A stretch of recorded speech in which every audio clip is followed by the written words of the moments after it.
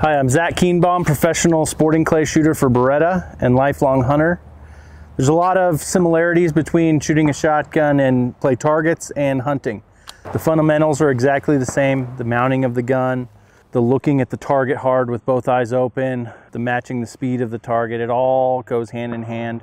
We work on said fundamentals by practicing on clay targets for our hunting season.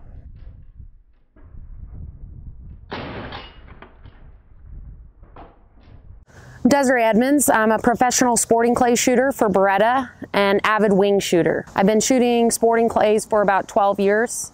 Clay target shooting, everything is anticipatory. You know the flight path of your clay targets. So you can make a good solid plan before you call pull to shoot the targets. Hunting is obviously a little bit more unexpected. You're not really sure when the birds are gonna come, where they're gonna come from um, or how many or, or what flight path they're going to take. So you have to be really prepared when you're hunting and know kind of subconsciously uh, train yourself how to shoot your shotgun. Your front hand, okay? Most of your mount comes from the front hand of your on your shotgun, okay? Left hand if you're a right-handed shooter or your right hand if you're a left-handed shooter.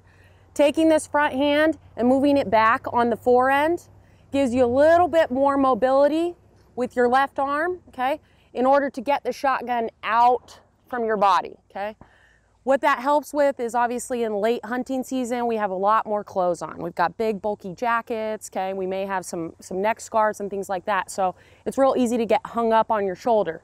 By taking that front hand and moving it back on the fore end, it gives your front hand somewhere to go and you can pull the shotgun out from your body one of the key fundamentals of shooting a shotgun is the mounting of the shotgun. A lot of our, our fathers, our grandfathers, whoever taught us to shoot, they talk about shouldering the gun. I think that's a little, a little backwards in that I actually want to see the gun come to my face. If I just shoulder the shotgun and get it to my shoulder and I'm shooting, my face is not down on the gun. Therefore, the gun's not shooting where I'm looking, okay?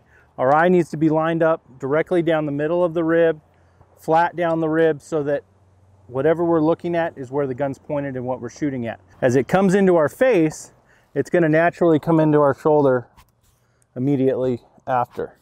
We want the two to meet at the same time, but if we can get the gun coming to our face, it's gonna automatically come into our shoulder, lining everything up, making sure we're more accurate.